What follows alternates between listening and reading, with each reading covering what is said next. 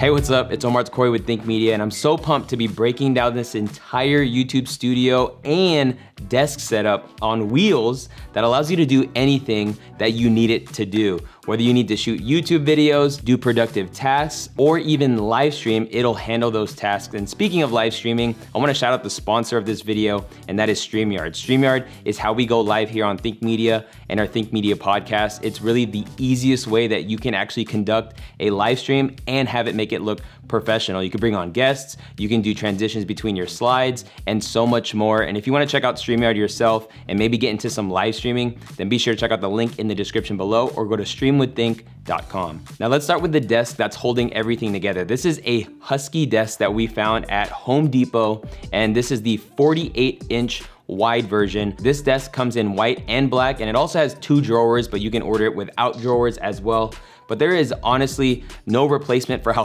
solid this desk is. It also has an adjustable height, which is super cool. They actually call this an, a workbench uh, on their website or when you go to Home Depot. Uh, and although it is adjustable, it's not electric. You actually have to crank it with the crank that they give you, but you can take that off and put it somewhere else, which is super nice. But this desk honestly is amazing and it comes with the wheels. So you can just screw on the wheels when you put it together. And honestly, putting this desk together was a super breeze. This version of the desk that we got with the drawers came in at around $230 and obviously that price will fluctuate if you get a bigger size or no drawers and things like that. But you can get a desk like this essentially for around $200, which I think is one of the best deals. And be sure to check out the links down in the description below if you'd like to check out these products yourself and find which one fits you best. As far as the monitor for this setup, you might have noticed that it's a unique size. This is actually called the LG DualUp monitor. It's a 27 and a half inch monitor that's 16 by 18. So it's not your traditional widescreen monitor, but I really think this is a cool screen because it not only accomplishes what I need it to,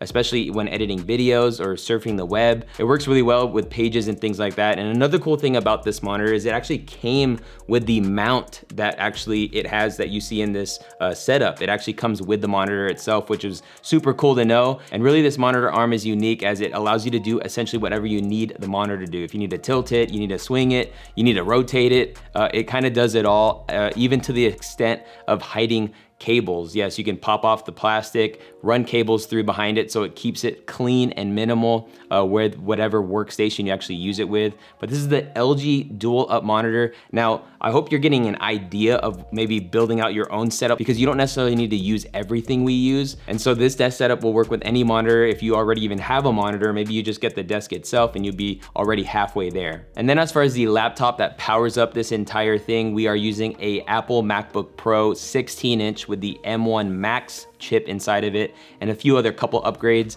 but essentially it's a machine that can handle any creative work you throw at it, whether it be, you know, live streaming or graphic design and things like that. And so this, this absolutely crushes everything we throw at it. And we've been loving this laptop here at Think Media. And we love that it actually gives you a great secondary monitor to use as it's open, as well as the keyboard. So we still use the keyboard of the computer itself and really the two paired is really a cool and neat thing. Like if you're editing videos, you can have the you know video up top and then essentially have your timeline down low or maybe your effects down low and then have your timeline underneath your video. But there's so many cool ways that you can configure this because of how much screen real estate you now have. But with that being said, I do think it's important to have an ergonomically nice mouse. And with that, we use the Logitech MX Master 3. And I've been loving this mouse. I love the click sounds that it has. And you can order a version that doesn't have a click sound. But just for, you know, doing computer work for long periods of time, it is really nice on your hand as opposed to a trackpad where that can get kind of finicky with your wrist and things like that. Now moving on to how this desk works as a YouTube studio, starting with the lighting setup, we got this desk light from Godox. It's called the ES45. This is a super sweet light. It's not only cool because of the features it has, but it also is cool because it comes with everything. And if you order this light, you're gonna get the light stand itself that clamps onto the desk, a nice large light that is essentially all you need to light your face. And then the light itself actually comes with a wireless rechargeable remote that kind of comes off the back of the light and you can literally control the light wirelessly and put this remote kind of on your desk and turn it on and off. You can change the temperature. You can adjust the brightness. And if you have multiple lights, you can actually put them all on one group and control it with one remote, which is super nice. But that is the Godox ES45. Again, links down to everything in the description below. And then as far as the camera, I really wanted to think about a camera that uh, looks great, but is also very easy to use as a webcam. And I don't think there's any other one better than the Sony ZV-E10. And the reason why I say that is because this camera not only shoots great 4K video, the kit lens that comes with it is at 16 millimeters, and so that's kind of wide enough from where it is, kind of like arm's length distance to give you that nice medium wide shot. And it's a super light camera, so it doesn't bog down the weight of anything, which is super nice. But what's also cool about the Sony ZV-E10 is that you can actually use just a USB cable to use it as a webcam. So simply plugging in a USB-C into the camera, and then plugging it into the laptop, turning on the, USB camera feature in the camera itself, and then you can use it for zoom. And now with the light and the camera, you have a sick setup to do either Zoom calls or maybe live streams with. Shout out to StreamYard for sponsoring this video one more time, but it really is easy to use. And so we went with the Sony ZV-E10 and really to keep this super minimal, we used a small rig mount to clamp onto the light stand itself. And then we put a quick release system on the camera so we can just slide on and off the camera as needed.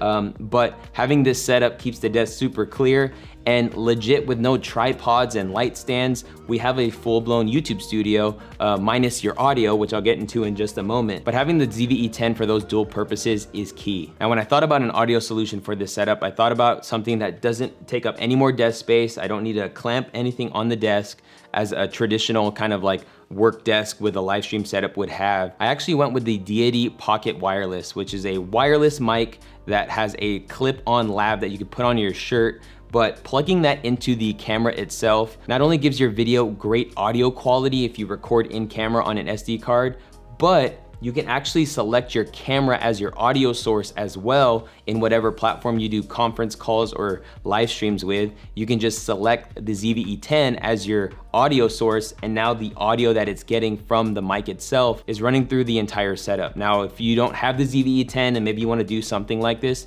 you can actually plug in the Deity wireless into your computer using a USB cable and actually just select it as your USB mic, which is super sweet and I think is a very underrated way to capture audio when using your computer with a wireless mic. A lot of people think they need to get a mic that's in the shot, like a dynamic mic or something. You don't need to do that with a Deity Pocket Wireless, but having this whole setup put together was really cool and fun to do. And being able to just literally roll the table and change the shot literally in a moment uh, to get a different kind of shot. So maybe you work in a corner, but when you wanna shoot YouTube videos, you can kind of pull it and put it at an angle and not really have to move anything else other than the desk, which is super sweet. But a couple things we did to really clean up the cables and things like that was we used a lot of command strips for a lot of those bricks that are on power adapters to just suspend it underneath the desk so it can kind of be hidden away. It's kind of our trick that we like to do. It's inexpensive and command strips are very reliable and can hold a lot of weight surprisingly. We also strapped a power strip to the bottom of this desk with a really long cable on it to plug into an outlet with that being the only thing needing to power this entire desk. And so when rolling it around, you're not running over a thousand different wires because everything is now just into that power strip down below, and then just wrapping up the cables so they're just kind of clean and tucked away, which presents this to be a very clean space to work in, and it makes you want to work and makes you want to be creative.